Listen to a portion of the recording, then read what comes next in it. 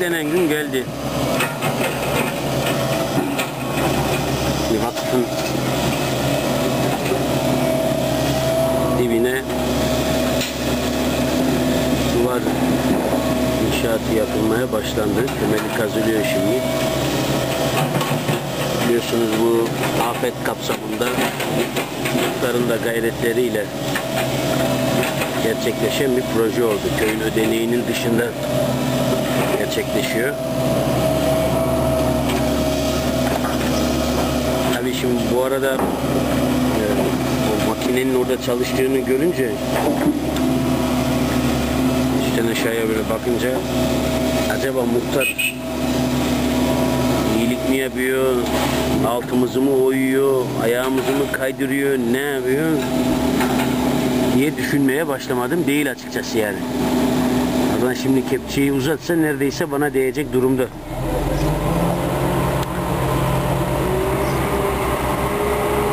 Bu arada bu arada benim şeyi de kesti o şimdi. Kısmalarım da ama neyse duvar yapılınca onu hallederiz.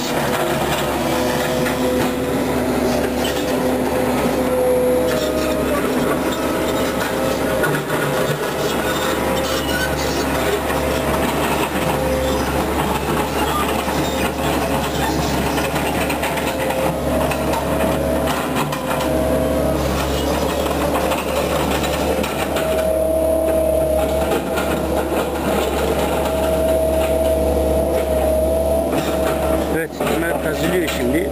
Herhalde çok uzun süreceğini de düşünmüyorum açıkçası. Ama çay zamanı olduğu için biraz sıkıntı olacak tabii. Buradan yol kapanacak. Nasıl olacaksa o işi tam olarak bilemiyorum ama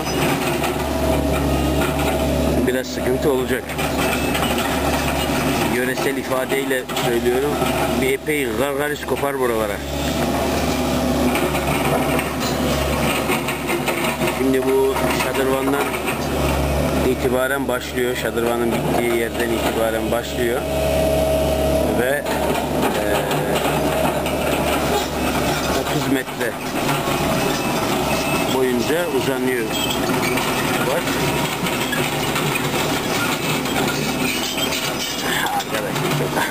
Acayip bir makine bu ya. Enteresan bir makine. Ee, 30 metre, 4 metre de yüksekliği olacak.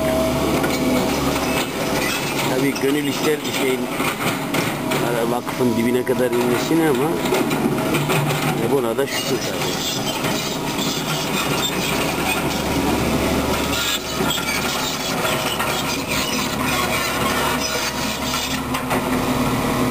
Evet, araç trafiğine sıkıntı yaşanıyor. Caminin altı araç parkına dönmüşler. Makine parkına dönmüş. Kamyonlar, taşıyıcılar falan.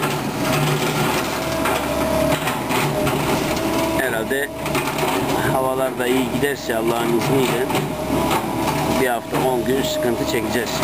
Öyle görünüyor ama hayırlı olacak inşallah. Böyle ümit ediyorum.